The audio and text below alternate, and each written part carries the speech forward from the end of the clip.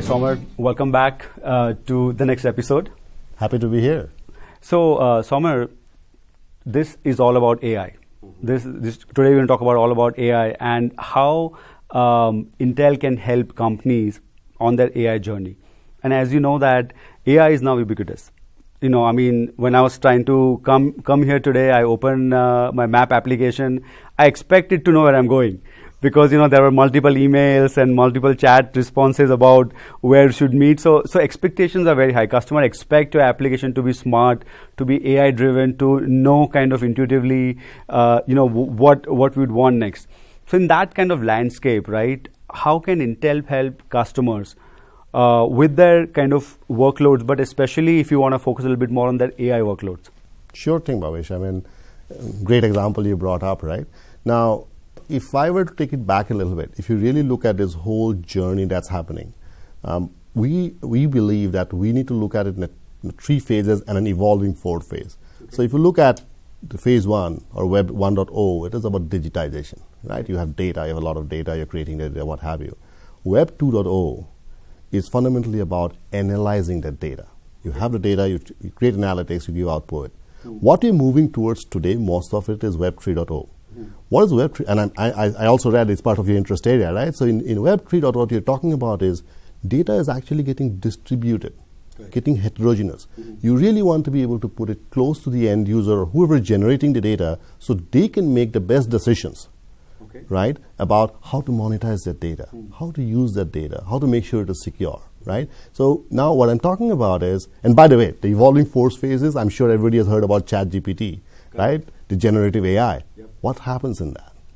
Yeah, what do we need to do for that, right? And we'll talk about it in a little bit, right? Absolutely. But if you think about this four phases, especially this phase three I'm talking about, which is the majority Web 3.0 phase space, you should think about going back to what you need for you using it for a map is different from me when I'm trying to get my healthcare system up. Okay. So what Intel do as, at a silicon level is how to improve that conversation is uh, provide purpose-built solution. Like for example, we talked about Xeon, which is more of a data-centric capabilities. But if you're talking about a video camera, we have something called Movidius, which is an edge capability. Okay. So providing a portfolio of solutions that could meet the requirements of a, pur- a purpose-built workload or, so, or ask that the customer has is kind of step one.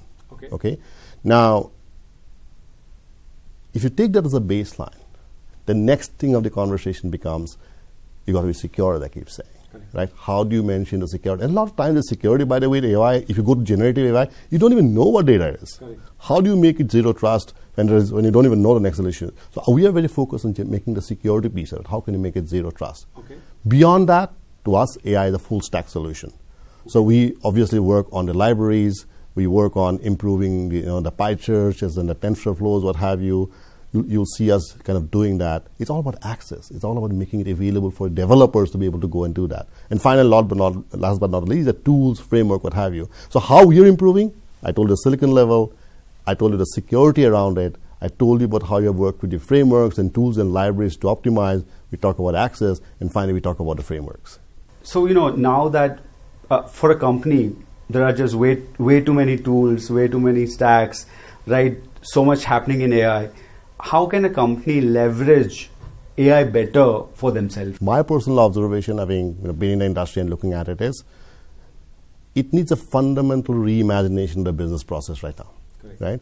Because what is possible today in terms of what AI can offer, mm-hmm. what is required from AI to offer, what the affordability of the computation and the latency, what have you, I think it, it, it requires a it requires a rehaul of this business processes organization are going through.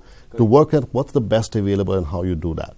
And I think to me, if I if I were to make one request to the customer base or to, to, to the users, mm-hmm. they need to reimagine the business process to be able to use the best available to give the best outcomes. Going back to the three or four fundamental problems that you know we talked about: problems of tomorrow, complexity of today, right? Sustainability. Correct. How do you make sure it's secure, and what's the final outcome? existing process with kludge or you know ad hoc fixes probably exposes these organizations to more vulnerabilities from a security perspective. Got it. And uh, uh, Saumer, you are right that um, you know you have to reimagine that in every process, don't you? Earlier, for example, uh, you go to an e-commerce site, and if, if it's a grocery kind of site, right? customer were happy putting okay i want milk and eggs and sugar and whatever whatever you but now the customer expects that okay i buy it every week why can't you predict for me that okay i'm going to be and, and already kind of recommend that these are the five things we think you might want to put in your card right? And good that you brought it up because if you talk about generative ai it exactly is addressing what you're talking about. You're saying hey look there is not enough data to train my models. There's not enough data to go and validate what i'm talking about. I need it here and now. So historically, if you see, there is data which is processing, then there's this inferencing, and then there's this whole modeling, let's make sure the model is perfect, what have you. Now you're essentially trying to say, I need to be generating it on the fly, train it on the fly, Correct. and give the output to Bhavesh that he's looking for. Correct. Yeah? So what does it require? It requires that the platforms and solutions are able to drive the convergence at a platform level itself to be able to give you that output. And by the way, and that I'm proud of being at Intel because if you look at the Xeon 4th gen, mm-hmm. it exactly does that. Absolutely. So you, if, um, we have something called advanced vector extensions or AVX 512. It, it addresses the part about the data processing I talked about, right? It, we also had something called vector neural, you know, neural network instructions or VNNI. This has been the key drivers for Intel's, um, I would say, leadership in inferencing, where majority of your today's inferencing lies on Xeon. A, it gives you probably, hopefully, close to what you're looking at. We're not done there as yet. B, it also gives you the cost optimized conversation, right? Or a sustainable conversation or a low power conversation that you're looking at. That's where we are going forward. How does Intel help customers managing this kind of edge to cloud to on premises kind of you know uh, data and uh, uh, infrastructure management of work or especially AI workloads across these different platforms? At a silicon level itself, we have made it pervasive. As I said, the advanced matrix extension or AMX is part of every core, right? Fantastic. But at the same time, you really need your hardware to be aligned to the workload requirement here. The second thing we bring about, as I say, is try to make it secure. Because the moment you talk about orchestration across multiple cloud, yes. how do you drive the security across the platform is something that we are kind of very clear about, right? Mm-hmm. I'll refer to a project with Google called OpenXLA, right? Okay. We have a low-level virtual machine that we have actually exposed this to the developers, right?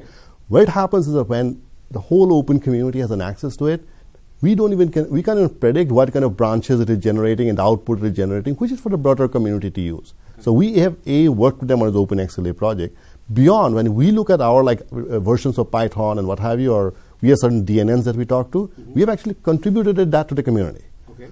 So which means that all its capabilities are now available and accessible for developers and organizations to use to optimize the usage of AI.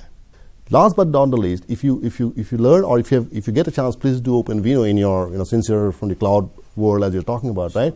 What OpenVINO does is a lot of times, you know, it, it happens that the time you take to you know train a model, get the right model, optimize for your data set with the speed that you're moving it on bare metal, it takes a lot of time. Correct. So OpenVINO gives you a framework to be able to use optimized models, which are at times pre-built. So you have, may have to customize it to your data a little bit, sure. but it gives you pre-built, right? That conversation of a framework with the models, that conversation of accessibility from developer who are already using those applications, that confidence of trust, and then a platform which is hopefully cost optimized, leveraging what you need, that's the complete you know, spectrum. And I'll give you an example, by the way, on, on this since you brought this up. One of the Fujitsu, and um, uh, India has a couple of you know large customer relationship organizations uh, like SaaS-based, like a Zoho or a, or a, yes. or a Freshworks, what have you, who are like unicorns, right? And when you look at CRMs, one of the biggest things is sentimental analysis. How do you have these multiple channels of data communication coming in? How do you are able to predict that sentiment to make sure you're making the right call at the right latency and a right SLA back to the customer, right? Fujitsu has been able to leverage our technology working with our models, right, and certain models that we help them optimize through OpenVINO to get a 4x improvement on the sentiment analysis that they provided to their customer. So that's the kind of impact you can create, A, by doing, providing right capabilities, and B, working with the ecosystem to support the customer. It just makes life of organizations so much easier that they don't have to have a very strong data science team generating those models from scratch and you know spending so much six months eight months ten months to kind of create that model they can just take that model deploy it wherever they want and uh, you know get full benefit of that. There you go. And i think you know if you take i gave you an example of sentiment analysis. We are working with organizations in india. Uh, we are working with organizations who are working with the KYC, a computer vision based conversation, because nowadays getting the Aadhaar card, getting the, you know, Correct. those are models where improvement or, or change of the latency number by 3x, 4x makes a fundamental dip- difference in terms of their customer satisfaction. Absolutely, and I think sometimes um, you know people just see cost per unit, but I think what also I'm hearing is that with so many different kind of accelerations that uh, uh, Intel Xeon, uh, uh, the fourth gen provides, that customers should try it out, try out the CPU with their different workloads, see the performance gain that they are getting, and really try to have the TCO, true cost of ownership, the true cost of workload with that. Because you know, on uh, on cloud or on premises, if you have uh, you know 100 CPUs doing one unit of work and one CPU doing 100 units of work, Right. is the same. It's just- You know, it it doesn't really matter. And in many cases, it's better because you know then you have to manage less amount of CPUs, less amount of virtual machines will do the same amount of work. And, and in that context, you know, given that it's a new platform and you know, it, as I said, it's moving so fast, if, question, if you know, the, the audience and the customers have any questions, I would just request them to reach out to us. I mean, the information is available. We'd be happy to walk them through and help them. And again, in the process, we learn as well. Correct. Because I'm sure it is not solving every problem. What else do we need to do? Because it's all about customer in, hearing to the customer in that what our solutions should offer. Great. On that note, thank you so much, Saumer, for being here. Really appreciate it. Thank you, and a great discussion, and looking forward. Thanks.